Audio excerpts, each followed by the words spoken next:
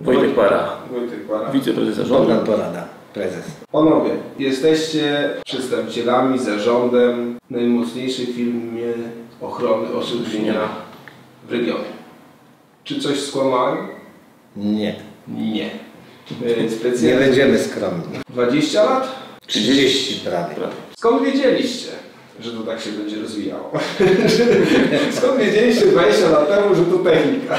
To znaczy, No bo teraz, to się wzięło trochę z przypadku, bo tak naprawdę to jesteśmy negatywnie nastawieni na e, zakłady pracy chronionej, które w naszej branży opanowały tą ochronę. I te zakłady pracy chronionej tak naprawdę pieniądze, które uzyskują e, jako dofinansowanie z PFRON-u przeznaczają na walkę konkurencyjną, a nie naprawdę po to, żeby dać jak tym ludziom? dać tym ludziom niepełnosprawnym, bo to im się należy.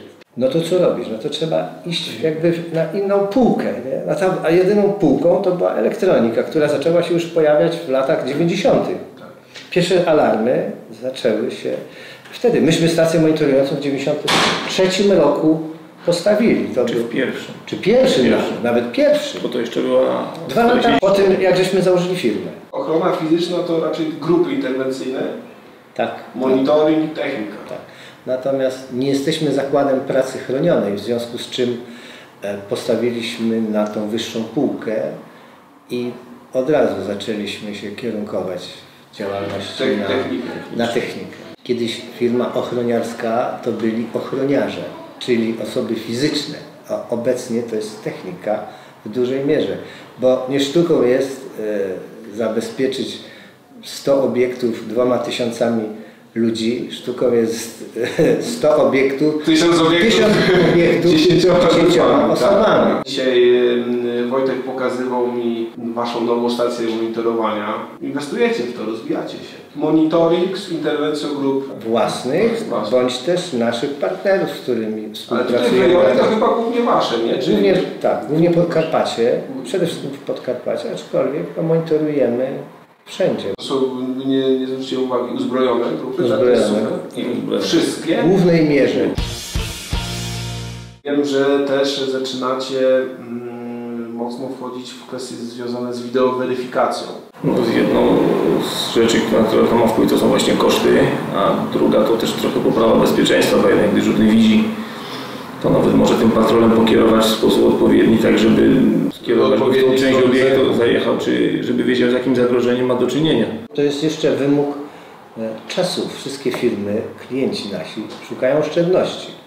Szukają oszczędności nie tylko pod względem finansowym, ale również ludzkim, dlatego że brakuje e, ludzi na rynku pracy. Powiedzmy sobie, tracący czas e, na obiekcie, no to wiadomo, generuje te koszty. Koszty. Elektronika, która przede wszystkim e, na obiekcie może być równocześnie w kilku miejscach, w przeciwieństwie do portiera, który Tak. robi sobie obchód swoją ścieżką jest widziany przez potencjalnych sprawców, no, nie spełni tej roli No. nigdy. Nigdy. Nie ma szansy. Ja czasami na konferencjach kalkuluję, ile kosztuje pracownik ochrony na obiekcie i ile on w czasie godziny jest w stanie zrobić, a ten sam pracownik na stacji monitorowania alarmu w czasie godziny jest w stanie 10, 20, 30 obiektów obsłużyć. Tak. tak. I to jeszcze w taki sposób udokumentowany. Udokumentowany jest y, potem możliwość weryfikacji przez klienta, czy faktycznie to było zrobione, czy nie było. Ta technologia na dodatek idzie jakby e, w sukurs tej tendencji, że no Polacy dużo pracują, natomiast są mało wydajni. To jest prawda. A w tym przypadku, jeżeli my wprowadzamy tę technologię, to operator, który siedzi przy, na stacji monitorującej jest wielokrotnie bardziej wydajny. Jakie plany? No na pewno teraz wszystko chyba będzie zmierzało do tego, żeby było w telefonie, już nawet nie w komputerze, ale cały czas e, mobilnie przy sobie klient będzie mógł sprawdzić, czy wszystko jest w porządku, czy ma uzbrojony system. Jak się zapatrujecie na daniu klientowi takiej możliwości odwołania fałszywego alarmu z aplikacji mobilnej? Jeżeli to będzie dobrze autoryzowane i nie będzie tego mógł zrobić ktoś postronny, to, to tak samo jak wysłanie SMS-a czy rozmowa głosowa, nie? Tylko tutaj trzeba zadbać o to, żeby ci klienci nie mieli możliwości zostawienia tego telefonu gdzieś, że ktoś przyjdzie i, I odwołać. i odwoła, nie? Bo Ja- pod, to- to- pytanie pod przymusem, jak to będzie wyglądać, nie? Tak. tu nie będzie wie, e, szczególnie, szczególnych zmian i jakichś dodatkowych zagrożeń, bo po, popatrzmy jak wygląda na dzisiaj odwołanie alarmu. Klient musi zadzwonić, e, czyli musi wybrać Tak. numer operatora, musi podać hasło.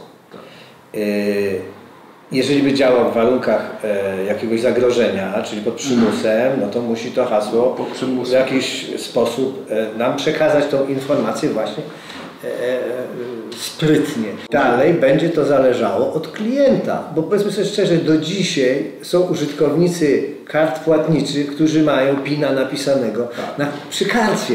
No więc jeżeli Może mieć napisane hasło do dania na tak. może mieć 300 różnych. Znaczy ja się tutaj boję trochę innych rzeczy, żeby ta aplikacja nie pozwalała na przejęcie jakoś, nie wiem, nawet konta e, tego użytkownika, nie wiem, na Gmailu czy gdzieś, żeby ktoś nie zainstalował gdzie indziej i nie dostał dostępu do tej aplikacji e, bez wiedzy, e, nawet na dłuższy czas.